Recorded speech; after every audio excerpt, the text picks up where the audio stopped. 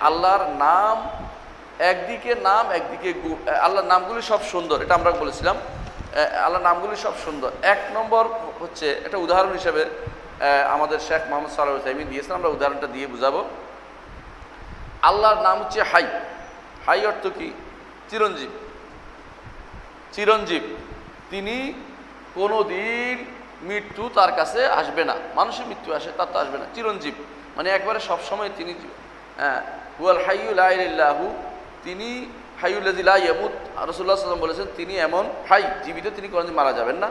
তাহলে হাই যিনি, এই যে হায়াত এইটার নাম। নামের ভিত, এত সুন্দর নাম কেন? এর ভিতরে হায়াত একটা গুণ আছে। কারণ হায়াত না থাকাটা হচ্ছে খারাপ গুণ মানে যেটা হায়াত নাই, জীবনে নক্স কমতি গুণ। আর হায়াত পরিপূর্ণ থাকাটা একটা পরিপূর্ণ গুণ। এই জন্য আল্লাহর এই নামটি সুন্দর, হায়াত, হাই নামটি সুন্দর। অনুরূপ আরেকটি নাম দেখেন, যে আলিম। আলিম অর্থ কি? সর্বজ্ঞ সব কিছু জানেন। আলিম অর্থ সব কিছু জানেন। তো আলিম নামটির মধ্যে আল্লাহর পরিপূর্ণ আইলম আছে আছে কি না পরিপূর্ণ আইলমের ঘোষণা আছে। আর যিনি সব কিছু জানেন, তিনি তো ক্ষমা করতে পারেন, তাই না? যিনি সব কিছু জানেন তিনিই তো আপনাকে দান করতে পারেন। তাহলে বোঝা গেল, একটি এমন একটি গুণ, এমন একটি নাম, যার ভিতরে অনেক গুণের সমাহার আছে। এই জন্য আল্লাহর জন্য এটা সাব্যস্ত করতে হবে। আল্লাহর জন্য এটা সাব্যস্ত করতে হবে। আল্লাহর জন্য এই নামটি সাব্যস্ত করতে হবে। কারণ এই নামে, এই নামগুলি সুন্দর। এই নামগুলি সুন্দর। আচ্ছা আরেকটা নাম বলি। আরেকটা নাম বলি, বুঝবেন? আর রহমান। রহমান আল্লাহর একটি নাম। যেই নামটি আল্লাহর জন্য সাব্যস্ত হবে, কারণ সুন্দর নাম। কারণ এর ভিতরে একটা গুণ আছে কি? রহমত। দয়া করা একটি গুণ। এই জন্য হাদিসে আছে রসুল্লাহ সাল্লাম বলেছেন মিনহাদি একবার যুদ্ধের মধ্যে, যুদ্ধের কিছু কয়েদি নিয়ে আসা হয়েছে।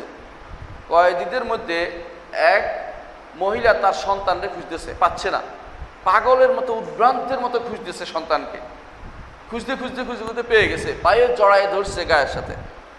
রসুল্লাহ সাল্লাহ ইসলাম বললেন, আল্লাহ, এই মহিলার চেয়েও তার বান্দাদের পরে বেশি দয়া আসে আল্লাহ কি বুঝাইলেন? দয়াটা একটা অত্যন্ত গুরুত্বপূর্ণ, একটা গুণ, যেটা রহমান নামের অধীন, রহমান নামের অধীন। তো রহমান নামের অধীন এই গুণটা থাকার কারণে রহমান নামটা পরিপূর্ণ, একটি নাম সুন্দর, একটি নাম, এই জন্য এটা আল্লাহর জন্য সাব্যস্ত করা যাবে, আল্লাহর জন্য সাব্যস্ত করা যাবে। তাহলে, এই যে নামটি আমরা পাইলাম, আল্লাহর জন্য রহমান, রাহিম, গাফুর গাফার বা হাইয়ুন, কাইয়ুম, এই নামগুলি সবগুলি হচ্ছে সুন্দর সুন্দর নাম। এই জন্য আল্লাহ বলছেন, ওয়ালিল্লাহিল আসমাউল হুসনা ফাদরুহু বিহা। আল্লাহর রয়েছে সুন্দর সুন্দর নাম, সেগুলো দিয়ে তোমরা তাকে আহ্বান করো। তোমরা তাকে ডাকো। সেগুলো দিয়ে তোমরা তাকে ডাকো। তাহলে আল্লাহ এই নামগুলি কি? আমরা ইনশাল্লাহ পরে জানব যে কি কি নাম রয়েছে আল্লাহর।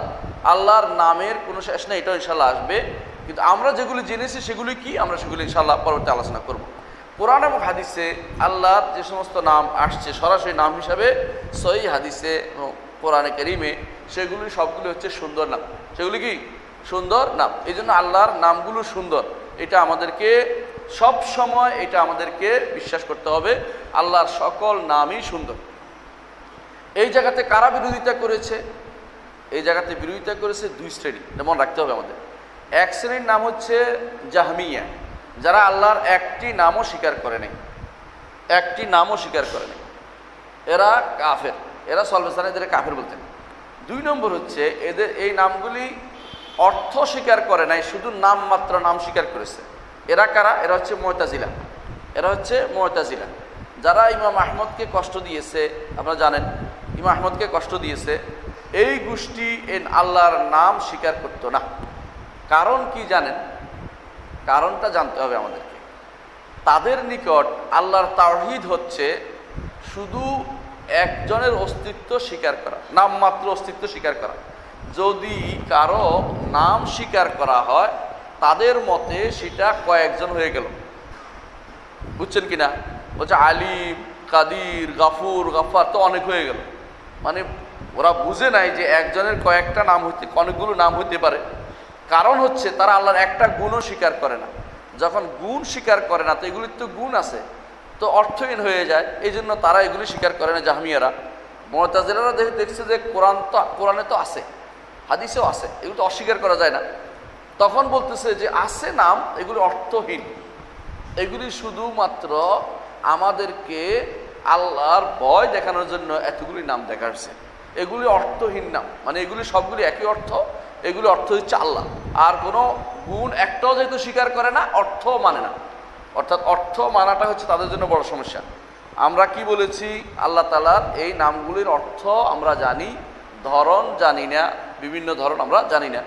আল্লাহ তালার নাম এবং গুণের অর্থ জানি ধরন জানি না। ওরা অর্থ জানে না বলার কারণে এগুলোকে তারা অস্বীকার করেছে। কারণ অর্থ যদি যদি জানে অর্থ, তাহলে তো স্বীকার করতে হয়।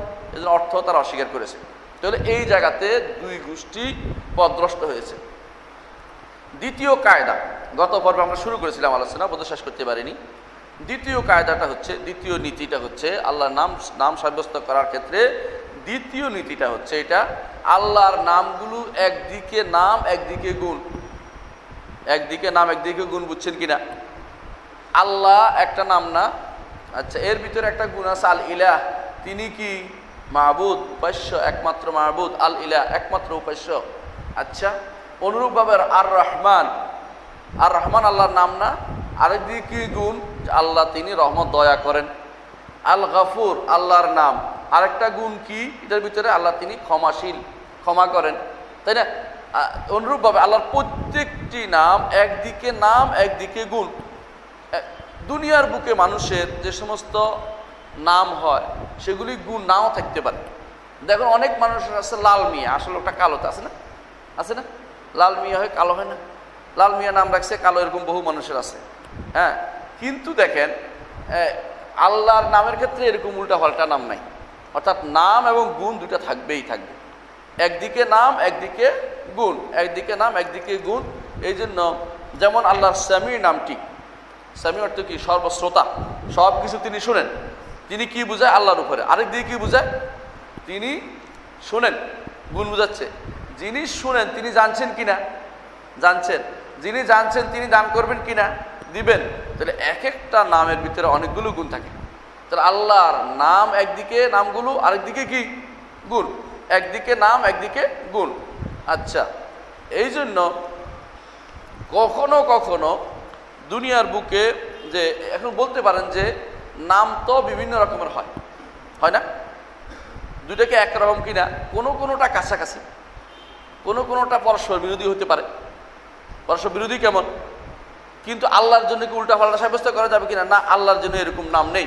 এই জন্য আসেন, যেমন আপনি বলেন, চাউল এবং গম দুটাকে এক জিনিস, ভিন্ন ভিন্ন জিনিস না? ভিন্ন ভিন্ন, নাম দুইটা কিন্তু ভিন্ন ভিন্ন জিনিস। আচ্ছা ধরেন দুইটা একই রকম অর্থে, যেমন কি উন্নত মানের গম আর নিম্নমানের গম দুটো তো গমেই। পার্থক্য হচ্ছে কি, নাম দুইটা ভিন্ন, উন্নত মানের একটা নিম্নমানের একটা। দুটাই গম দুটাই গম। এটাকে আরবিতে বলে কামহা এবং গোর। হাদিসে এটা আসছে, কামহা এবং গোর আসছে দুটাই। আচ্ছা কখনো কখনো একই নামের অনেকগুলো অর্থ থাকে। অনেকগুলো অর্থ হয়, যে কোনো নাম আল্লাহর কথা বলছি না আমরা, সাধারণ দুনিয়াতে বলতেছিলাম যে কোনো জিনিসের। যেমন যদি আপনি বলেন যে চাকা চাকা একটা বলেন না? গাড়ির চাকা হইতে পারে, আবার কি চাকা হইতে পারে? তো যে কোনো জিনিসের ঠেলা গাড়ির চাকা হইতে পারে হইতে পারে না? আর টেবিলের চাকা হইতে পারে হইতে পারে না? তাহলে কত রকমের জিনিস চলে আসছে, একটা সব শব্দ একটার ভিতরে। এরকম দুনিয়াতে নাম আছে অনেকগুলো।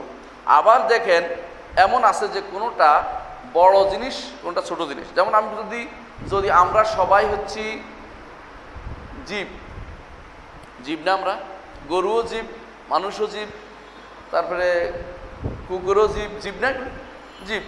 কিন্তু মানুষ যদি বলি কুক এটা একটা ছোট হলো না, এটাকে বলা হয় একটা বড়, একটা ছোট, একটা আম, একটা খাস। একটা আম, একটা খাস। একটা ব্যাপক, একটা ছোট। নামের ক্ষেত্রে যতগুলি দেখতে পাচ্ছি আমরা, আল্লাহর নামগুলো, এগুলো পরস্পর বিরোধী না। একটা একটা পরিপূরক। একটা একটা পরিপূরক। এই জন্য আল্লাহকে কখনো আপনি পাইবেন না, তিনি মৃত, জীবিত, দুইটা বলতে পারবেন না কোথাও। কোথাও এরকম পাওয়া যাবে না। তবে অর্থের দিক থেকে যেমন একটা স্বামীর যিনি বাসির এক না, যিনি শোনেন এবং যিনি দেখেন দুটাকে এক না, দুইটা ভিন্ন ভিন্ন গুণ। তো আল্লাহর জন্য বিভিন্ন রকমের গুণ সাব্যস্ত, ভিন্ন ভিন্ন, কিন্তু পরস্পর বিরোধী হতে পারবে না। একটা একটার বিরোধী কোনো গুণ সাব্যস্ত হয়নি। বুঝে আসছে পরস্পর বিরোধী না, তবে বিভিন্ন রকমের গুণ আল্লাহর জন্য সাব্যস্ত হবে, এটা আমাদেরকে জানতে হবে।